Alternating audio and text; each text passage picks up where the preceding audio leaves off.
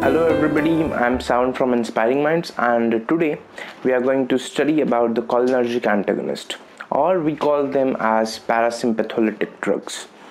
So let us uh, understand how does they work. Okay, here it is a presynaptic neuron and here is the effector organ presynaptic neuron we know uh, the presynaptic neuron in the parasympathetic system it is releasing what? Acetylcholine. And even the postsynaptic neuron is re releasing the acetylcholine on the effector organ. Yes? How does the work is that any cholinergic antagonist will bind to the cholinergic receptor cholinergic receptor क्या है ये है cholinergic receptor and it can be nicotinic receptor और muscarinic receptor अगर drug उस receptor को bind कर रही है either either it is nicotinic or the muscarinic and blocking that receptor and is not producing any intrinsic activity that drug is called as or that agent is called as parasympathetic agent or the cholinergic antagonist अब हम बात करेंगे where at what level the cholinergic antagonist works okay as I have told you that the cholinergic agents they can be anticholinergic agents can act on nicotinic receptor भी और muscarinic receptor पर भी वो act कर सकते हैं so if they act on muscarinic receptor then what do we call them we call them anti-muscarinic agents anti can block receptors okay इसमें दो क्लासेस हैं नॉन सिलेक्टिव और सिलेक्टिव नॉन सिलेक्टिव का मतलब क्या है?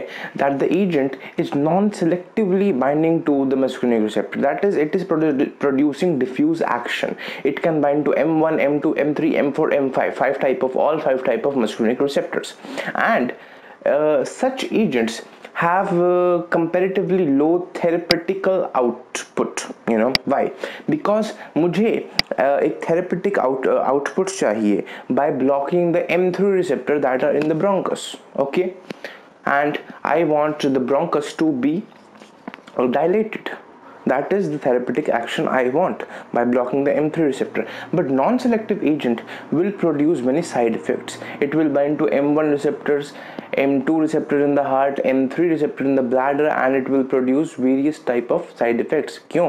M3 receptor में bladder में mind किया, it produce urinary uh, you know urine will not pass. If it bind to m2 receptor in the heart it will produce tachycardia. And it, if it binds to m3 receptor in the eyes it will produce cycloplegia. And accommodation of the you know eye eye will be accommodated for the near vision and uh, you know the power of accommodation of eye will be hampered. I do not want these side effects. So non-selective antimuscarinic agents are not very you know used for therapeutic purposes but yes they are used. One of the example of non-selective uh, agent is atropine. It binds to all type of the muscarinic receptors. Then we have the selective antimuscarinic agent. Example pirenzepine pirenzepine it binds to the m1 receptor that is present in your stomach and uh, by binding to it it blocks the acid secretion in the stomach क्यों? Because we know cholinergic अगर कोई भी agent है acetylcholine जब release होती है stomach में and it bind acetal Colin जो है, वो एम वन रिसेप्टर पर बाइंड करती है it cause is what secretion of the acid so these are all antagonist of the cholinergic system means जो नॉर्मल कॉलिनर्जिक स्टिमुलेशन प्रोड्यूस करती है it is going to produce anti effect cholinergic stimulation the stomach causes the secretion of acid so this anti cholinergic agent it is causing the decrease in the production of the acid so pairing the blocking the M receptor and producing this effect then इनका other class है anti nicotinic anti nicotinic means they can bind to the nicotinic receptor nicotinic receptor ganglion में present है. उन पर bind करेगी then we call them ganglionic blockers and if the nicotinic receptor that are present on your skeletal muscle N M type of nicotinic receptors present on the skeletal muscle if it bind to them then it will cause what? Relaxation of the muscle. And uh, such agents are neuromuscular relaxants. So let us first study about some anti-muscarinic agents we'll start with the non-selective one a best example of non-selective anti-muscarinic agent is atropine binding to the all type of the muscarinic receptors we know कि distribution of muscarinic receptor is different yes for example आपके heart में M two type of muscarinic receptor lung में M three है eyes में M three है GIT में M three है bladder में एम है so, it will bind to all of them and we will see what effects are produce but आपको ये रिमेंबर करना है कि that effects are opposite to what it is produced by the cholinergic stimulation of that receptor ठीक है? Will start with the eye eye may be no ciliary muscle is there and the iris are there okay both of them are having the M three type of muscarinic receptor okay cholinergic stimulation से eye में क्या होता है? Eye pupil constrict so Anticholinergic, cholinergic से क्या होगा? Mydriasis. Mydriasis means the pupil will dilate by uh, by uh, atropine blocking the M3 receptor causing the mydriasis. That is anticholinergic action. And it is causing the cycloplegia. Cycloplegia means that uh, power of accommodation is lost you know it will cause blurry vision the person is not able to see nearby object very careful uh, very you know sharply it is causing the blurry vision because uh, अब हमें पता है cholinergic stimulation say the lens is accommodated for near vision and you are able to nicely see nearby objects but atropine अगर हम देंगे it will produce anti effect of that anti effect is what you are not able to see the nearby objects and such situation is called as spasm of accommodation So atropine can produce spasm of accommodation by causing cycloplegia and binding to the M3 receptor. Other uh, side effect, बोल लो या फिर bad effect बोल of atropine is the photophobia because uh, atropine jo hai it can cause these effects mydriasis and cycloplegia for four to five days and you know pupil is so much uh, dilated that a good amount or we say a crazy amount of light enters your eye and person even becomes photophobic. He is having the phobia to the light. So this can also develop uh, develop due to atropine but uh, baat yahan par hai so why are we using this? Why we want to use mydriasis? Because in many situation eye surgery karni hai hame we want the pupils to be dilated because we'll put various instruments we'll see through the camera and do various stuff. So we want pupil to be dilated so we can clearly focus on the retina behind yes so we are uh, using this cycloplegia why do we want the spasm of accommodation to check what refractory index of the eye refractory index refractory index ठीक है that is why we are producing cycloplegia हमें एक eye की जो power of accommodation है we want to fix it to a point okay we do not want lens to know to become globular and to become thin or thick again and again and uh, one once the lens is focusing for the near vision at other moment it is focusing for the far vision we want to arrest the lens okay so uh, because if you arrest the lens then only you are producing the cycloplegia and it can be used for taking refractory, refractory index. So we are using atropine. What form can be used? You are not going to give it intravenously because you want the effect on eye. So we are using the eye drops to block m3 type of receptor that is present in the eye. Okay? Photophobia mydriasis cycloplegia you should remember it. But other effect है कि this atropine is very long acting agent long acting agent का मतलब है कि it can block your receptor in your eyes for four to five days and it is crazy because if even if you want to you know look uh, through the eye into the patient's retina your surgery or you want to do any surgery maybe it will take 4 or 5 or 6 or 10 hours but why do you want the patient eye uh, to be you know in the uh, state of mydriasis for 4 to 5 days. It is stupidity. Yes. So nowadays the atropine is not used. Nowadays we have very good agents such as cyclopentolate. Cyclopentolate they act for uh, 5 6 hours 7 hours 8 hours. And uh, they can also do the same action as the atropine can do. Midriasis cycloplegia and the foot. Photophobia is not produced in the case of uh, cyclopentolate. Okay. Then हम study करेंगे what is the action of atropine on the GI tract GI tract में जो atropine है again it will bind to what type of receptor M three type of receptor in the GIT okay revise करते हैं हम। Cholinergic stimulation जब GIT की होती है what does it produce it produce spasm high amount of peristaltic movement or the spasm of GIT, diarrhea like situations. So atropine can be used as an antispasmodic agent. It will block the action of acetylcholine on the M3 receptor because why? It is cholinergic antagonist agent. So antispasmodic effect is there so what is the therapeutic action overactive git you can manage overactive git or you can manage the diarrhea uh, of various you know uh, or diarrhea or your GIT spasms that is produced by giving atropine then effect on heart effect on heart uh, is basically dose dependent हमें पता है normal cholinergic stimulation M2 receptor on the heart causes the heart to depress or bradycardia is produced by the normal cholinergic stimulation acetylcholine when binds to the M2 receptor so cholinergic antagonist क्या करेगा antagonist M2 receptor को block करेगा so it should do what it should produce uh, tachycardia because it is blocking the bradycardic action of normal cholinergic stimulation but हमने देखा है that the atropine is not like that it depends on all the doses of what dose you are giving to the patient for example 0.5 to 2 mg तक अगर आप atropine patient को दे रहे हो it is seen that it produces bradycardia I know that it is opposite of what we are thinking but it is how it acts okay but yes if you are giving the patient atropine in the dose of 5 mg to 10 mg then it is producing what tachycardia tachycardia is normal anticholinergic effect yes cholinergic effect is what cholinergic stimulation of the heart it produces what it produces bradycardia so anticholinergic क्या होगा it will produce tachycardia tachycardia and the palpitations कहाँ पर आप ये use कर सकते हैं it can be used in the cases of what In the cases of the when the patient is admitted in the emergency department and he comes with the bradycardia yes?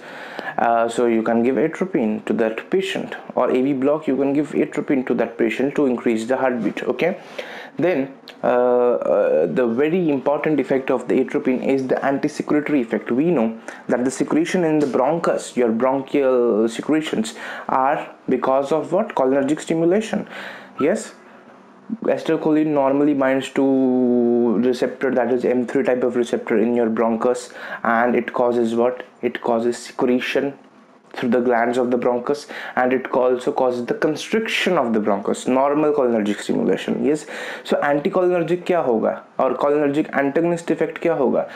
The secretions in the bronchus will be reduced okay so reduced secretion that is why it is anti-secretory. And constriction नहीं होगी bronchus की will cause what dilation of the bronchus so it is very good if the patient is coming uh, in emergency department and he is having bradycardia on top of that is not able to breathe so giving atropine is a very good choice because you are causing the dilation of the bronchus and you are increasing the heartbeat of the patient okay then atropine is an antidote for cholinesterases blocker in the last videos we have discussed the cholinesterases blocker kya hai those agents that can block acetylcholinesterase that is enzyme that degrades the acetylcholine in the synaptic cleft and acetylcholinesterases jo hai if you block them the acetylcholine in the cleft increases and it produces cholinergic crisis. Yes? So it is uh, the atropine is dual antidote for the cholinesterases blocker. So cholinesterases blocker we know organophosphates are there. They bind to your acetylcholinesterases and produces effects like what bradycardia, uh, difficulty in breathing, diarrhea, and all those cholinergic crises that are produced. So it can be managed by that. How?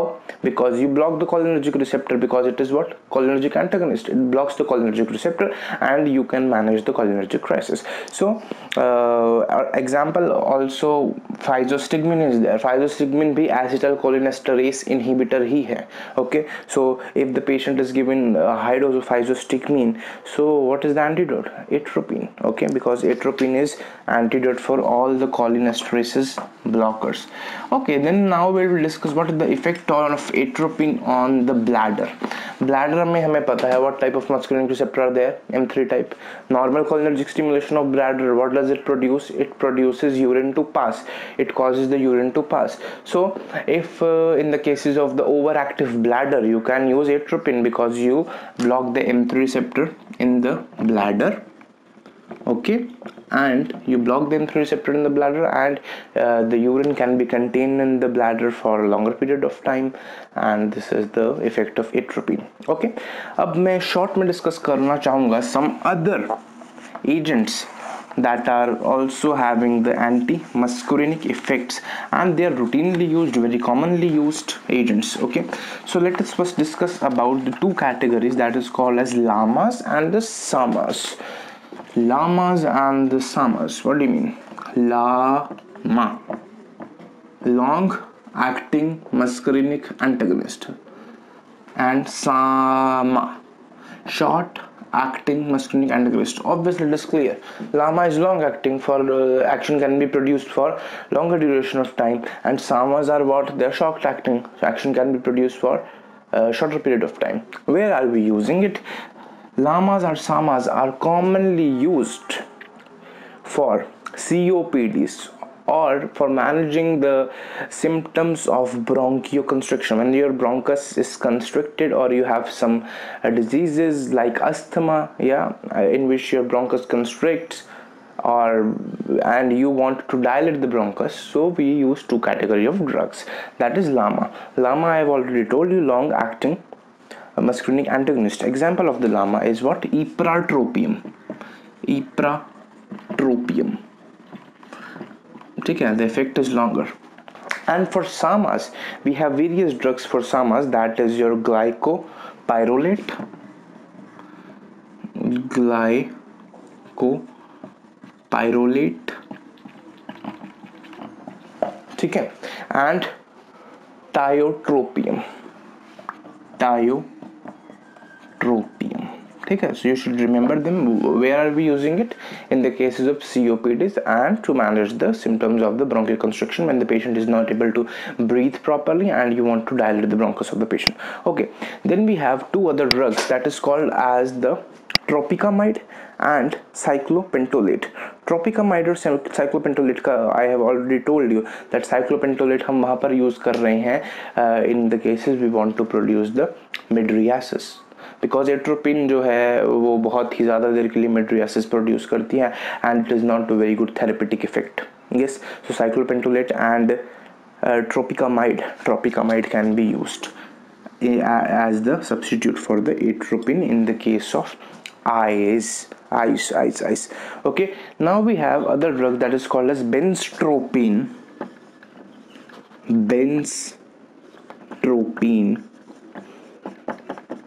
and trihexphenidyl trihexphenidyl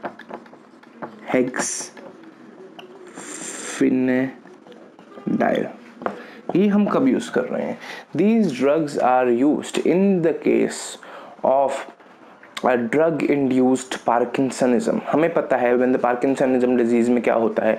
dopamine का level and and the acetylcholine levels they are in the balance normally in the substantia nigra brain in the brain parkinsonism में क्या होता है? Dopamine levels कम हो जाते हैं and we give some drugs as a substitute for low dopamine levels okay but uh, as we try to balance the low dopamine levels by giving the drug, the acetylcholine levels in the brain increases, and uh, increase in acetylcholine levels in the brain uh, produces various extrapyramidal side effects. We'll discuss about them when we will study about the uh, Parkinsonism and the drugs. But for now, you should remember that to manage the drug-induced uh, Parkinsonism effect, extrapyramidal side effects that are produced in the case of Parkinsonism, we are using two group of drugs that is called as benzotropine and trihexyphenidyl okay? Then we have for the bladder. Bladder ka i will give you a mnemonic sot what do you mean by sot in the case bladder is overactive or detrusor muscle is you know such that it uh, causes the em- uh, emptying of the bladder in one hour every 30 minutes 10 minutes. So it is not very good for the patient to walk into the toilet every 10 minutes because of its overactive bladder. So we can uh, give uh, some drugs that is called as solifenacin sole sole phenacin ठीक है then we have oxybutynin and we have trospium. Trospium.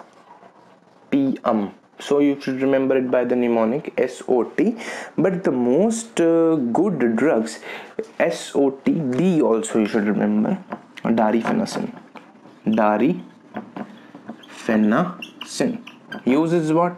It will block the M3 receptor in the bladder and it will reduce the frequency of the urination in the patient. In uh, some patient urination is very much frequent because of various pathological reasons. So these drugs can be used. Solifenacin oxybutynin trospium and the darifenacin out of all these four solifenacin and the darifenacin is the best because they are selective for the M3 receptor. And oxybutynin and the trospium they have various side effects also because they bind to the muscarinic receptor elsewhere in your body also okay?